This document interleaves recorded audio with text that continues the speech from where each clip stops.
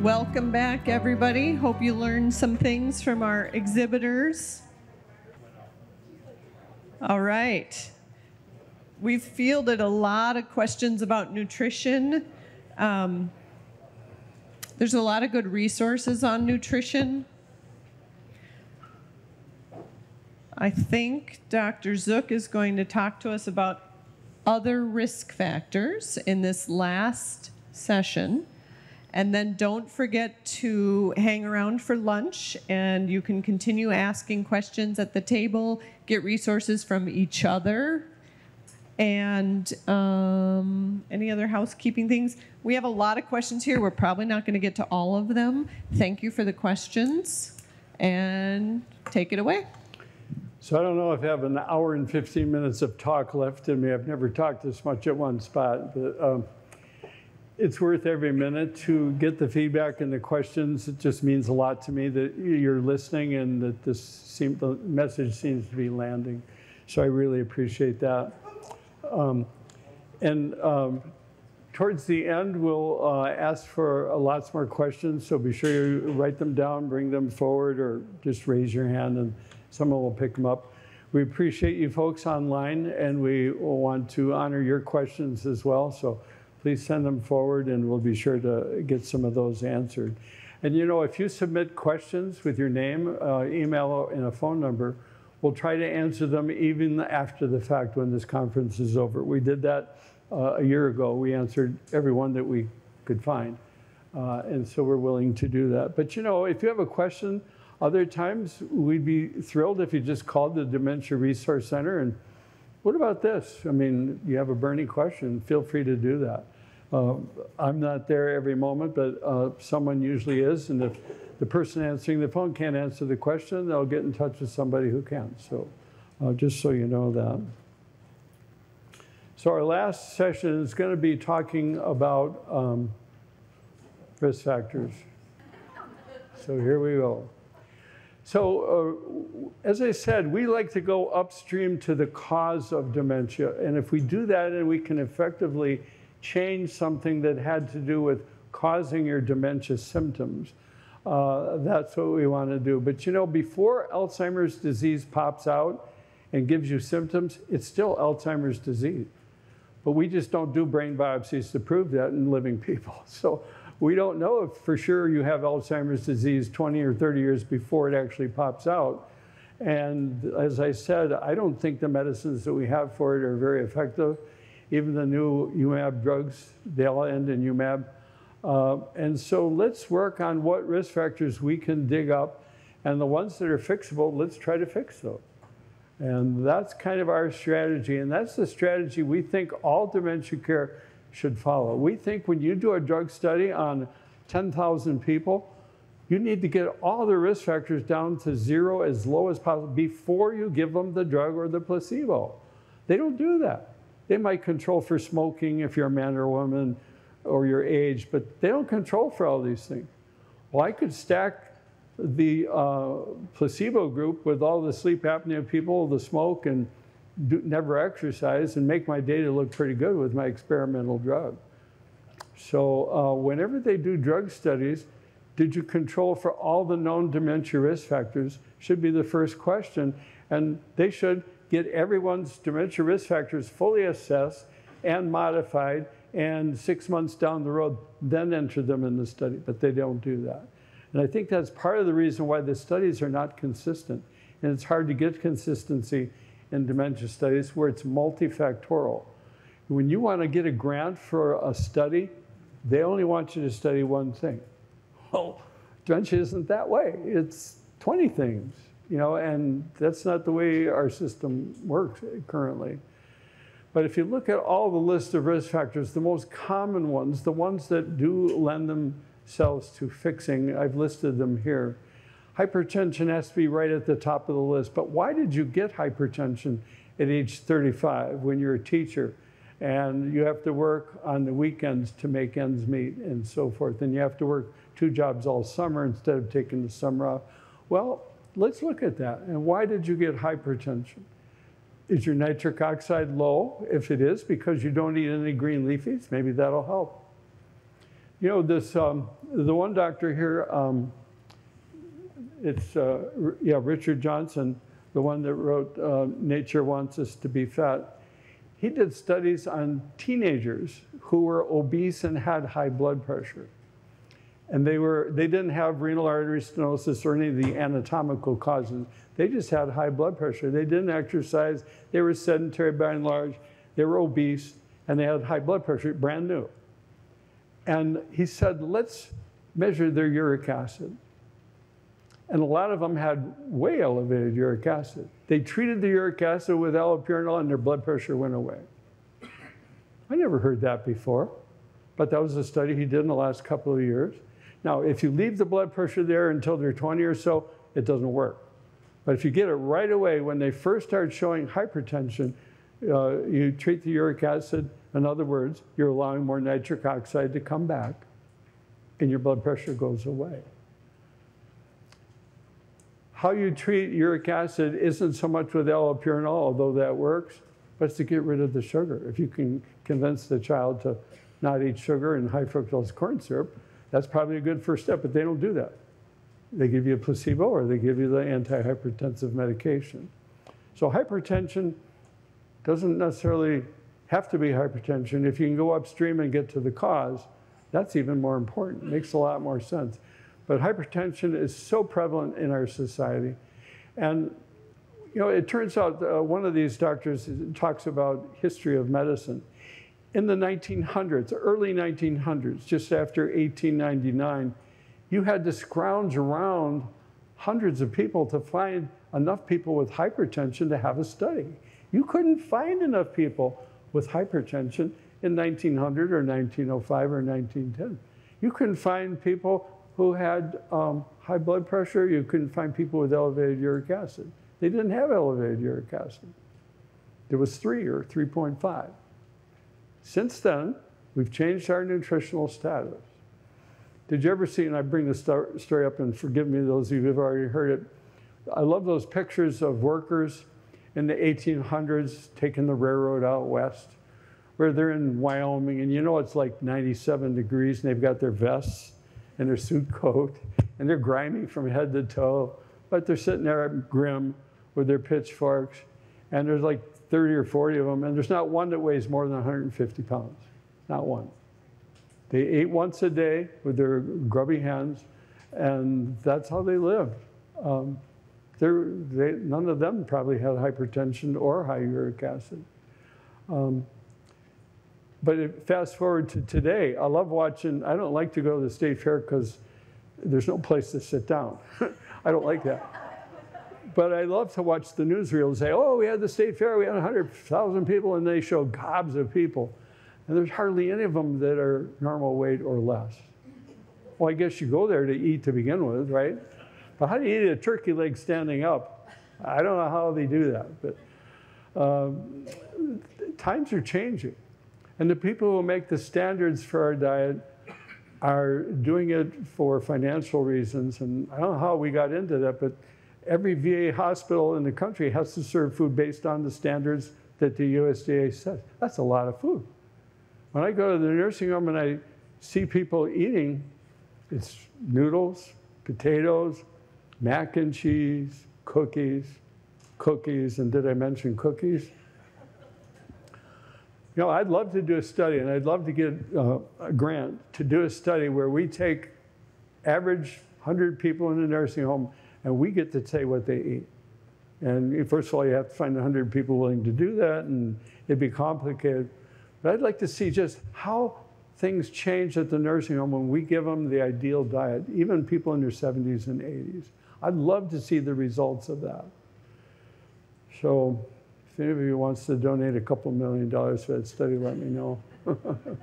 uh, but because it's not going to get a blockbuster, multi-billion dollar profit drug, that study won't happen in America, I guarantee you. So, um, and um, Cardiovascular disease, coronary artery disease is an interesting disease. I've had uh, acquaintances who run marathons get a quadruple bypass. Why does someone who never smoked, runs gobs of miles, runs marathons, get, need a coronary artery bypass graft for coronary artery disease, that which gives you heart attacks. Why would that be? Well, um, it, partly genetics, but um, and partly, and most of them have like way normal cholesterol. And by the way, did you know that the majority of people coming into the emergency room for the very first heart attack, the majority of them have normal cholesterol? And 15% of them have way normal cholesterol. Even the extreme that the specialists recommend, 15% of them. And there they are with their first heart attack. So cholesterol is not the only reason you get a heart attack. It's inflammation. The vessels are inflamed. What's bad for the blood vessels is bad for the brain. And there's a connection there. Vascular health depends on things like uric acid and nitric oxide that we talked about. And that's why I chose those, because they're all tied together and they're all part of the same syndrome, if you will. And we call it metabolic syndrome, but I mean, there's other names for it but it involves blood sugar and, and so forth. But um, vascular turns out to be really important risk factor because if you already have a vascular disease, even if you're a young person, um, that's um, a risk factor for dementia later on. Now, if you get it attended to, you get your blood pressure down and in the normal range, and you do all the other things. You can't just medicate your way out of health into, into cardiovascular health you also need to keep your weight down. You need to exercise. You need the stress relief. If you're stressed out of your guard all day, every day, and we see this with caregivers, we worry about caregiver stress, and that needs attention. And that's why we say we don't want to extract the patient as an individual case outside of their milieu. Their milieu is the whole family, especially the caregiver. Being a caregiver for more than a year for somebody that you love with dementia is a really high risk factor for dementia yourself. So, caregivers of a loved one that they love dearly, and this is not commercial caregivers, for more than a year for dementia has way elevated risk for dementia themselves. That's how stressful it is. So, and we've seen people who've been caregivers for eight or 10 years. It's amazing. Um, and then atrial fibrillation. You know, I, I want to get my cardiology friends and colleagues on track with the importance of atrial fibrillation looking forward into risk for dementia. You know, the big thing about atrial fibrillation, it's an irregular heart where your heart beats the interval between each beat is different. So it's, it's all irregular. And it's fairly common in people our age, 65 and above. But atrial fib allows your blood to sort of pool in the atrium. And if your atria are big, uh, because you're a marathon runner, you're more likely to get clots in there if you go in and out of atrial fib. And so quite often, uh, they're treated with anticoagulants so you don't get stroke. But even so, when we see the scans of people who have this back history of atrial fib, they have this white matter vascular abnormality on their MRI scan, which is indicative of little tiny strokes going on. Now, if you have a big stroke and you're paralyzed and you're blind and you go to the emergency room, that's a big stroke. I'm not talking about that. I'm talking about little tiny strokes in a shower of clots of maybe two or 300 red blood cells clots into your brain in multiple areas. You don't get paralysis, you don't get blindness, you don't get the typical stroke thing where your arm comes down. You just get cognitive dysfunction. And I think this is a big deal, and I, don't think it's solved yet, but I really worry about atrial fib being attended to fully, completely, and as carefully as you can. And um, in the old days, we used an anticoagulant called Coumadin. And there are people with artificial valves who must take Coumadin because the new expensive anticoagulants aren't indicated. And when you take um, Coumadin for years and years, Coumadin works by binding your vitamin K.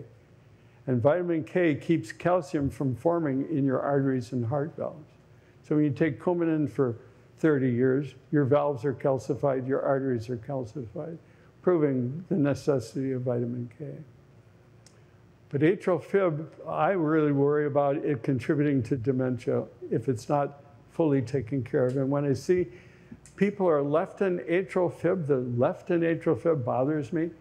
If there's any way we can uh, change the electrical system an ablation or some other thing, if it's feasible, um, I would think it's well worth the chance because atrial fib puts you at risk for little baby clots. They go everywhere. And I don't, I don't know if we pay enough attention to that. Peripheral vascular disease, there are people, especially smokers, who the arteries in their legs and other places are constricted when they exercise and the muscles call for more oxygen, the vessels can't provide, they get pain in their leg when they walk. That's called claudication pain. That's a vascular disease, and that too has a risk for dementia. What's bad for the blood vessels is bad for the brain. By the same token, what's good for the blood vessels is good for the brain. So the glass is half full or half empty, depending on how you look at it. Um, and sleep apnea, you know, atrial fib and sleep apnea, I consider them cousins. If you have sleep apnea, you've got a 50% chance of having atrial fib somewhere along the line, if you're our age. If you have atrial fib, you've got at least a 50% chance of having sleep apnea. And as I said before, half the people with sleep apnea don't know they have it.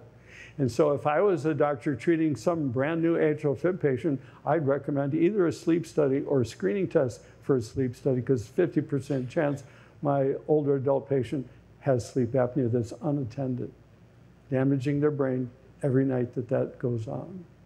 So I look the two as very important. If someone gets new atrial fib, they should get a test, at least a screening test. You can wear an oxygen measuring overnight, and if your oxygen stays 98, you're golden. If it goes down to 80, you better get a formal sleep study and get treated.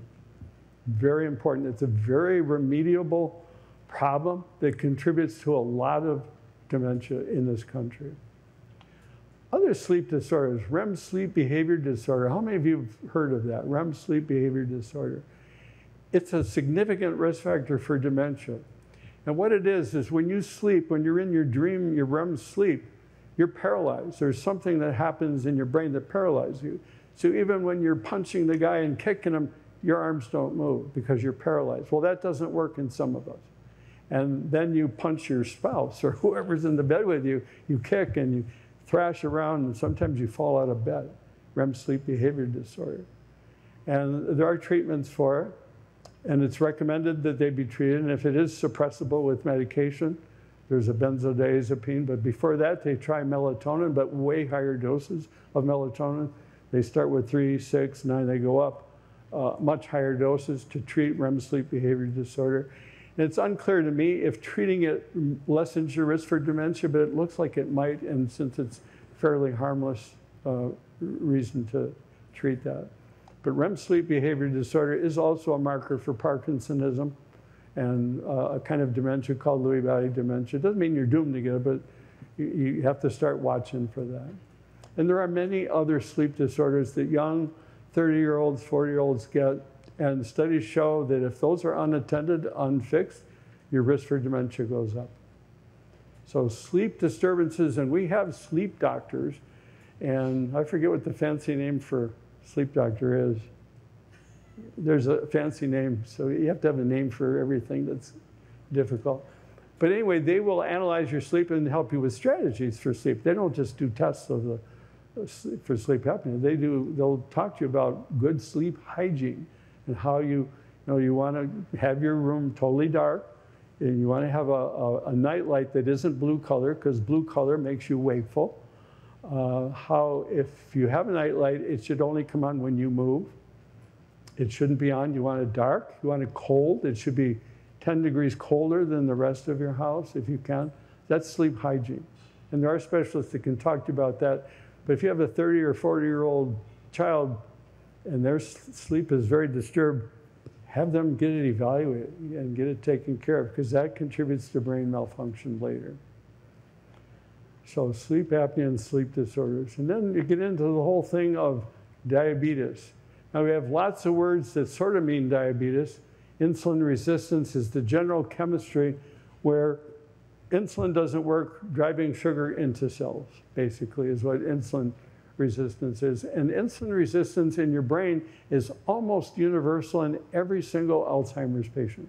Now, I'm saying Alzheimer's on purpose because there are other dementia. It's been shown more in Alzheimer's than the others, but probably to some degree has uh, an effect where the brain cells don't get to utilize fuel, which is glucose. And if the insulin isn't doing it, the insulin may be impaired. And generally, in these people, their insulin level is very high because the insulin is being pumped out to try to do more and more. And how much insulin you have generally will do the job if you have enough of it. But at a point, it's diminishing returns, and your blood sugar starts to go up, and you have diabetes. I think 90% of type 2 diabetes, and most diabetes, 90% of it is type 2, and there are exceptions, but most of it, 90% is curable with behavioral management. If I, and I kid my colleagues about Dr. Zook's desert island, where I'd like to just take some people there and drop them in by helicopter, and um, they can only eat what I tell them. They have to exercise, and every night we sing kumbaya and tell stories around the campfire. And if we did that, we could get rid of 90% of type 2 diabetes. I'm convinced. Now, that implies a lot of things that they are compliant, that they don't have other medical complications, and so on. But they never taught us that in medical school. They just said, What drug are you going to use?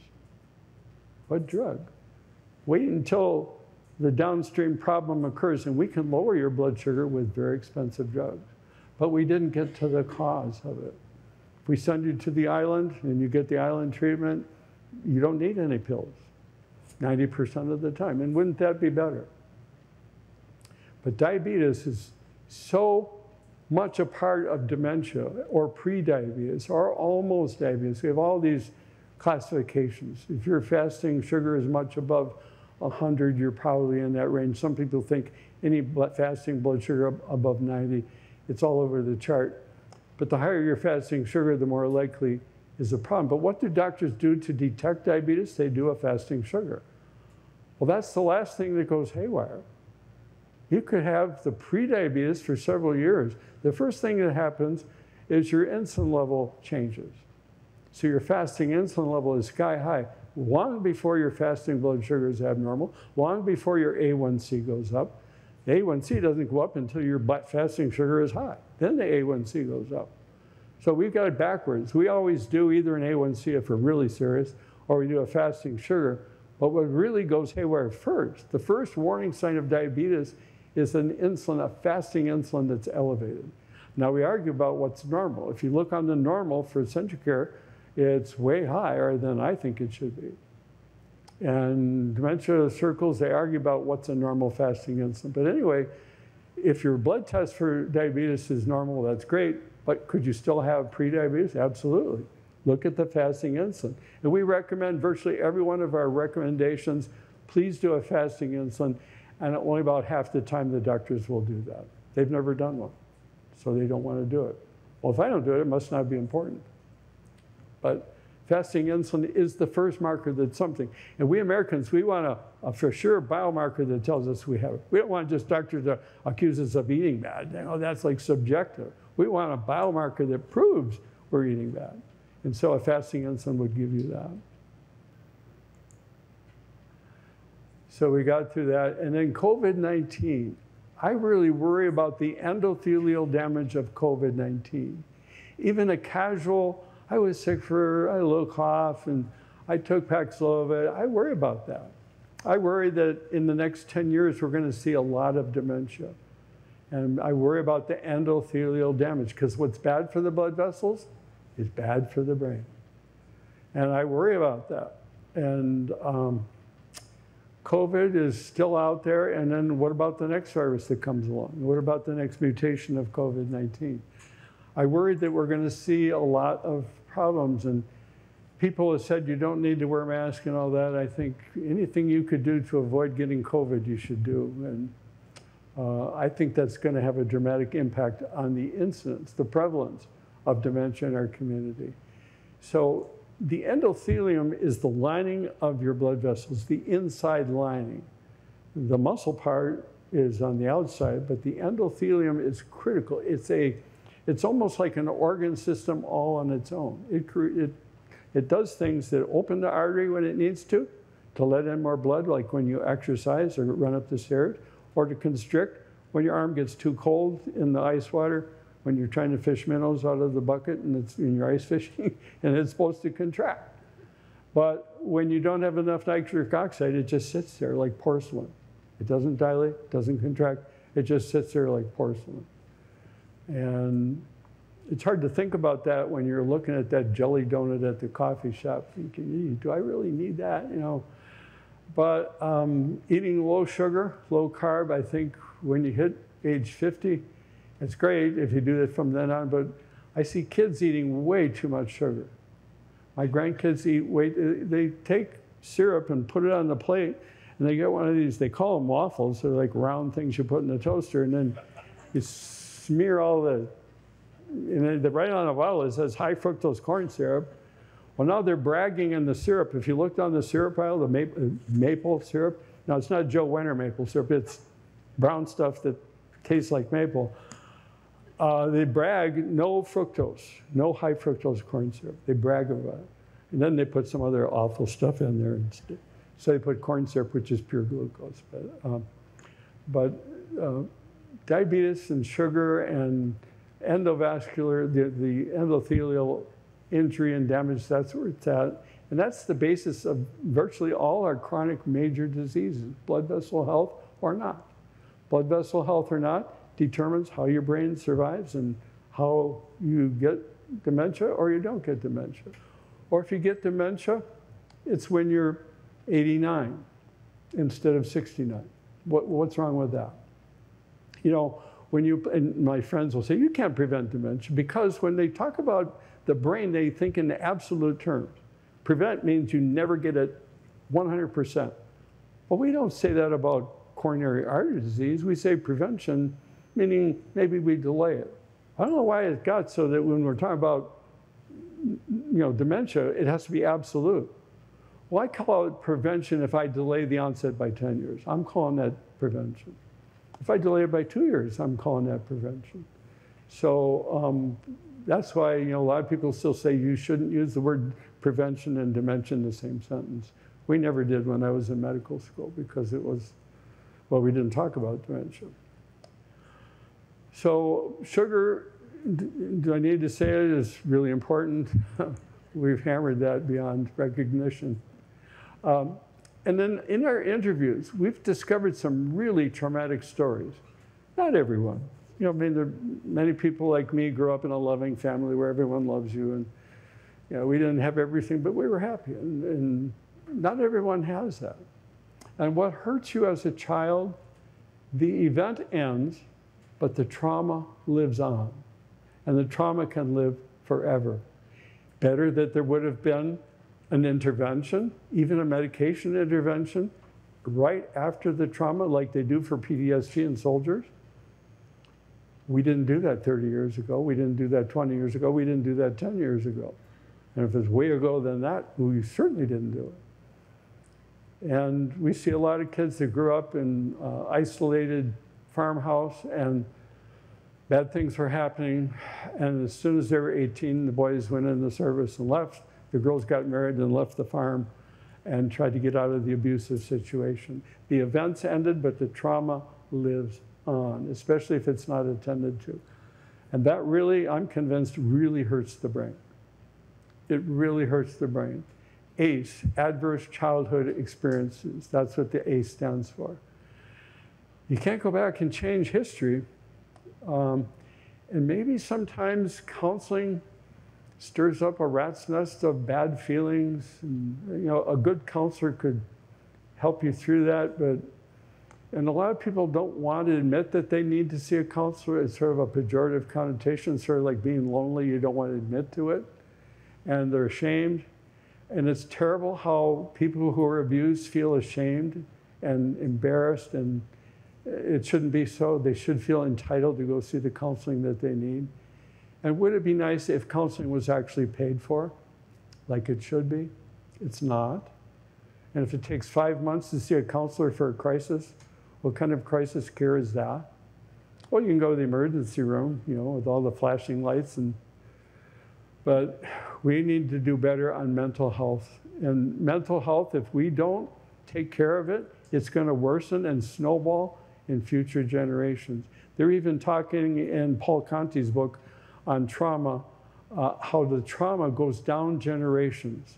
The grandchild evidences the behavior reflecting the grandparents' trauma.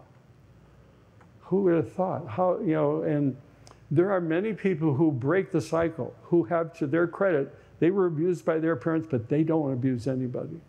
And that takes a lot of energy. And, but if then your child suffers the effect of your parents' trauma, that just doesn't seem fair. But anyway, they're writing about that. Why it's so important that we have a good counseling and mental health and behavioral health system that gets paid for.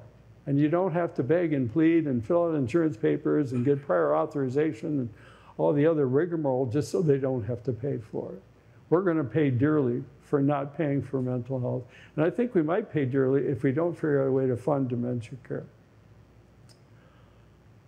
Infections.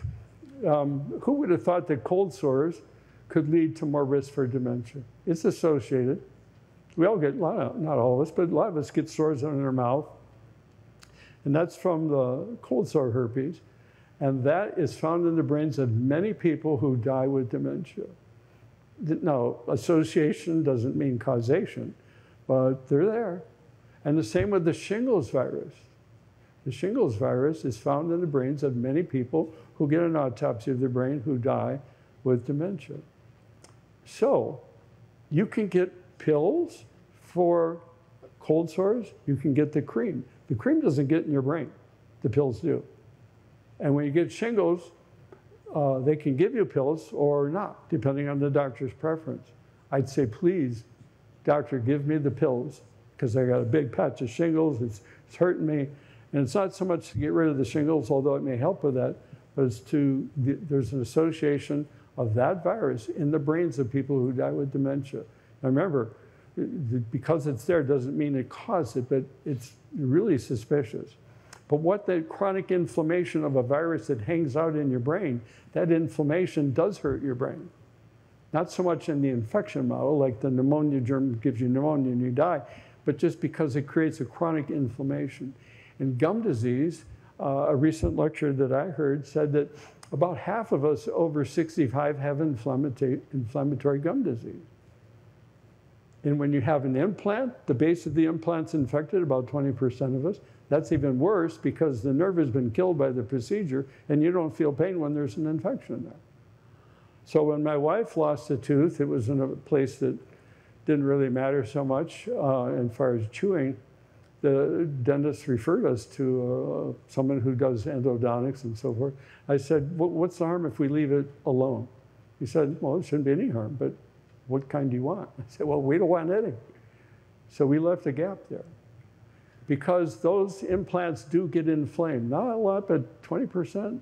I guess I'd, if I can live without the tooth, I'd live without the tooth. Now, if it's right in the front, okay, maybe you have to fill it in. But those do get inflamed. And even without all that, 50% of us have inflammatory gum disease.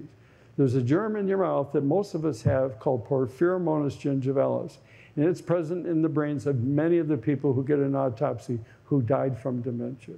Porphyromonas gingivalis. They're even using it to, uh, in archaeology, there's not that germ, but other germs like it to follow when the first Americans came down the Bering Strait into, they're, they're following germs. It's, they actually use the H. pylori stomach germ. But uh, P. gingivalis is going to be a, a major thing and when you use the mouthwash uh, to kill it, you're, you're, killing the good germs as well. But Porphyromonas gingivalis makes a substance called gingipains. And the gingipains goes right up the cranial nerves into your brain, and gingipains stops you from eliminating the beta amyloid. And beta amyloid is what all these expensive drugs do to bind and get rid of. Well, gingipains stops your ability to clear out your own beta amyloid. And they're trying to figure out gums and other things that gets rid of the gingipains produced by Porphyromonas gingivalis. Who would have thought a germ in our mouth could give us dementia? But P. gingivalis is there, and I think you're going to read about that because there's going to be gums and other products come out to try to get rid of it. But it's present in almost all of us. But there's good germs and there's bad germs in your mouth, and it's a detente that goes on all the time. The microbiome of your mouth. It's a little different than the microbiome of your stomach where there's good germs and bad germs. You want to favor the good germs by giving them lots of fiber. That's a prebiotic. That means food that the good germs like. You give them lots of fiber, fiber, and fiber. They like garlic, they like onions, and the right foods makes the good germs in your intestine happy.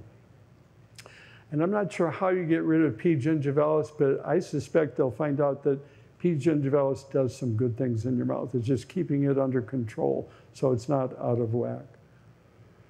But infections, um, and you can argue about tick-borne diseases till the cows come home. I mean, they have two-week seminars on tick-borne diseases. Lyme disease, you're familiar with. Uh, Minnesota was a hotbed for years. Now we realize that most states have tick-borne diseases, but they're sneaky. You know, they're, they're different kind of germs. They're not like regular bacteria.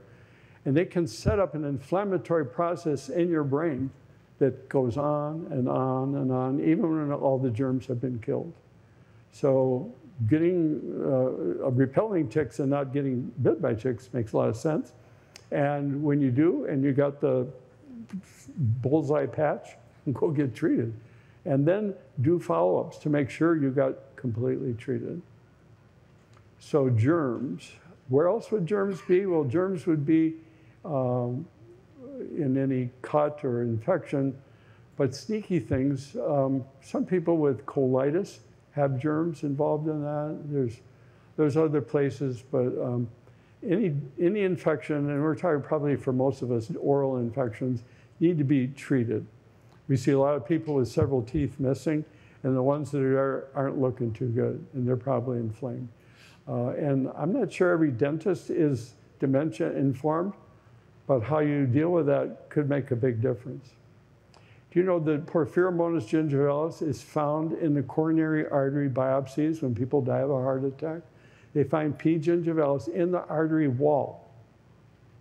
And this is something we've known for years. And other bacteria in the mouth are found in the walls of the little tiny arteries that keep our heart muscle alive. So if you got an infection, you want to get it cleared up toxic exposures. I could talk about Roundup. I've heard all day seminars on Roundup, which is glyphosate.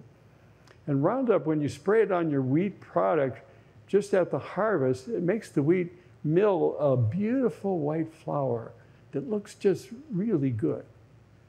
And then the chemists will say, oh, but the glyphosate, it's gone in 24 hours. No, it's not. Dr. Bredesen in California, who we try to emulate in our he, he's done blood tests on people, and virtually every one of his people had a measurable glyphosate level. And the people that were the worst tended to have the highest level, and so on. So just a word to the wise. You know, I go to my dear hardware store, and they've got stacks of Roundup in a pyramid, you know. When you spray that stuff, it gets absorbed through your skin. It hurts your brain. It's not good for your brain. Occupational exposure. People work in battery plants where they recycle batteries. There's a lot of bad things that happen there, lead, cadmium. Uh, people who smoke have a lot of cadmium in their blood, and cadmium levels uh, can also lead to dementia. Mercury, uh, people who like raw fish and sushi. You know, my daughter and her husband love sushi, and they want a special treat. They go to a sushi bar and they bring it home, and I say, you know, this stuff wouldn't be bad if you just cook it. You know, 400 degrees for about an hour, and it'd be just about right. You know, for me. But, but the bigger the fish, the more mercury they have. So a big tuna, big tunas are really big and they have a ton. It's a, a food chain thing. The big fish eat the little fish and then the bigger fish eat those fish. And, and by the time you're a thousand pound tuna, you've got a ton of mercury. And so I love tuna fish, but I don't want mercury. So toxic exposure. Service related, you've seen the burn pits that the service people, when they leave, Afghanistan, they throw everything in a big pit and burn it and gives off these toxic fumes and God knows what's in there, but probably plastics and things like that where, and that's really bad for you. And we're going to learn to shield our soldiers from that, but um, I worry about those kind of toxicity. Um, and then poor diet. Well, we talked a lot about high fructose corn syrup. That's what HFCS is. But sugar and sugar and sugar, and it's everywhere. Um, processed food you're going to read a lot about. Processed food is anything that's not a whole food that didn't get plucked out of your garden. Uh, processed food is everywhere. In most of the food in the grocery store, the majority is processed. And I used to love to go to the deli and get that tavern ham slices, but boy, that's not good for you. And that's highly processed. And You know, if you get a package of food and it says outdates in the year 2052, what's that all about? You know, that's processed, you know. So processed food you're going to read a lot about, and um, I think uh, you want to avoid the processed food. And I think it says dehydration. Yeah, and then what's after dehydration? Oh, vitamin deficiencies. We talked a little bit about vitamin deficiencies. Um, but you can get um, vitamin deficiencies for a number of reasons, mostly if you remove the acid in your stomach. But you know, if you watch um, older people eat, they eat what's convenient, especially if they're one of the people living alone. What's convenient? Well, I can make mac and cheese. You know, mac and cheese, that mysterious orange stuff that coats the macaroni, I call it cheese-like substance. I'm not sure what's in there. Uh, and they eat that a lot because it's easy and toast and donuts. And some of them drink milk, but they have to go to the store to get milk. So they have fruit juice, and, and it's a lot of carbs. And um, like I said, if I could get a research project and take people in the nursing home, give them the right foods that I would like them to eat, I'd be very interested to see what results we got. Uh, dehydration we did mention before, but if you eat a lot of salt, make sure you drink a lot of water. Because you, people who live on a high salt diet often are overweight or fat. When you eat too much salt and you don't have enough water, you will be fat. And carbs, starches, you know, we didn't really get into that, but anything made from wheat or something like wheat, so that's bread and rolls. And you know, most of our sodium comes from bread and rolls. Only 11% of your sodium is dietary that you put the salt shaker on. The rest comes from our food. And bread and rolls has a ton of salt. Who would have thought? And sedentary lifestyle. Boy, you know, I, I see my, uh, my daughter's uh, girls are both very active, and their other children are very active.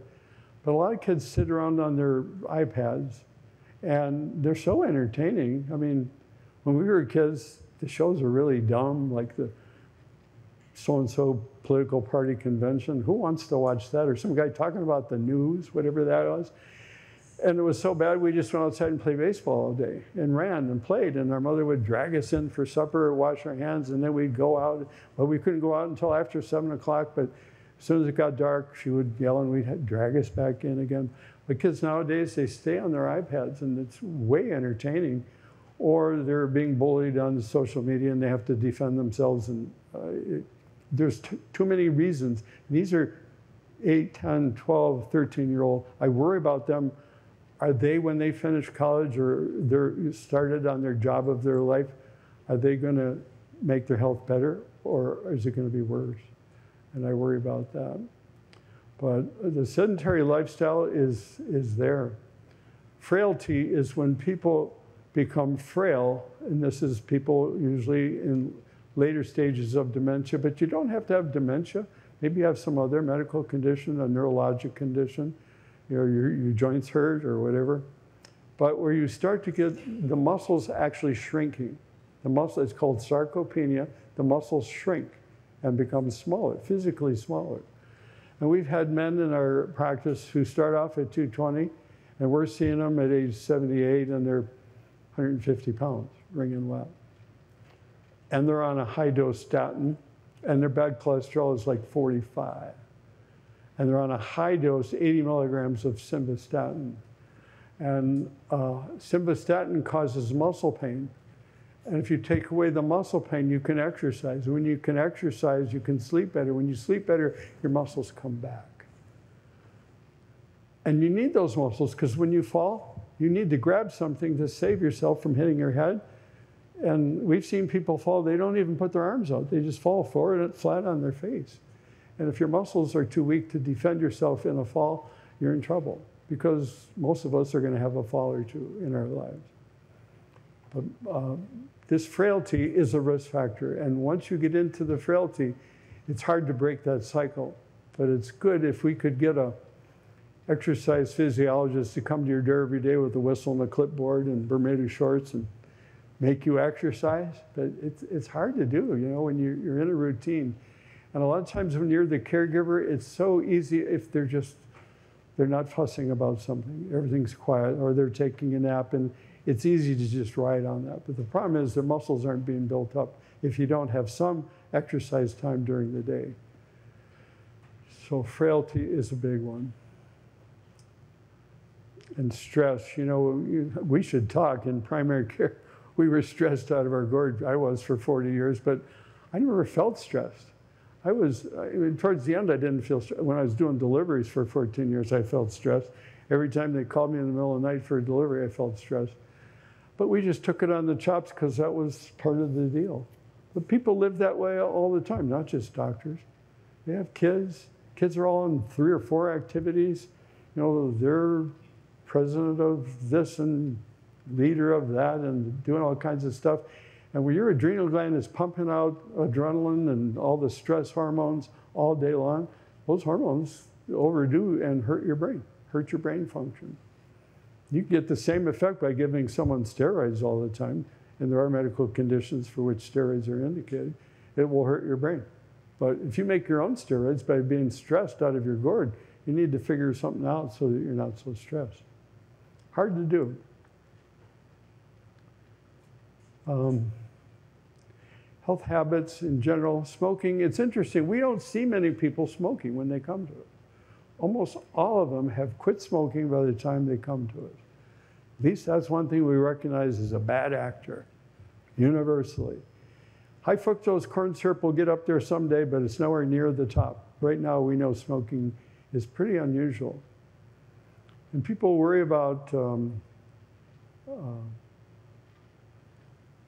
the head injury. Uh, we do see a fair number of people have had traumatic brain injuries and they fell out of a pickup truck or they got hit with a baseball bat.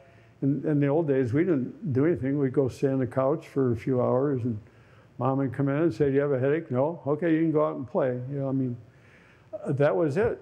But we now know that all those head traumas, and most kids have several of them by the time they leave home. Um, it's hard to say. And head trauma is interesting when it does damage. You can't tell by looking if it was damaging we don't get to vote on whether it was damaging or not. Your brain decides if it was damaging. And if it was, it was. It doesn't matter what it looked like. And the simplest thing, like a, a ball bouncing, a soccer ball bouncing off a goalie's head, looks easy, but it may cause some brain injury. And that's pretty important. So we're getting better about that in organized sports, particularly in schools. We're getting way better the college level, the pro level. But if you look at the pro uh, football players, how many of them who play uh, 10 years or more have uh, traumatic encephalopathy? It's alarming. It's very, very high. And those of us who were never privileged, privileged to play, or those of us whose coaches never let them play, um, um, probably are better off in terms of their brain injury, brain um, dementia risk. So we have on our website, um, this is uh, something that Sarah Baker, our marketing person, created for us. And there's 47 questions in there. You can just go on our website and take the test. If your score is above 10, that'd be of concern. However, we need to redo this because since we published this, there's been about a handful, maybe 10 more risk factors that we're putting in. There's 47 questions, but it really asks about 100 risk factors because if someone had to answer 100 questions, they would never do the test. So we snuck those in there. But um, there's a QR code that you could scan, and I think we have that on some of our materials there. But just go to our website, it's on there. Um, but we use that, and we think that anyone doing dementia care should do a dementia risk assessment. Any drug study where we're studying the effectiveness of a drug for dementia needs to clear the deck first, get everyone's risk factors down to as low as possible, and then do the study. Uh, but this risk uh, assessment it should be become a routine for all dementia care. Um, I don't see that even in our biggest, our two biggest medical centers in the state do not do that, that I could tell. So um, thanks for attending, and we appreciate your attention today. We'll have some more questions uh, that we'll take uh, here currently. Um, hopefully, uh, we as a community will rise above uh, this issue by collaborating and helping. If you, uh, you don't need to be a dementia expert to help, we have opportunities for volunteering. Um, um, so as I said, we as a community need to deal with this. We need all the help we can get. We appreciate donations.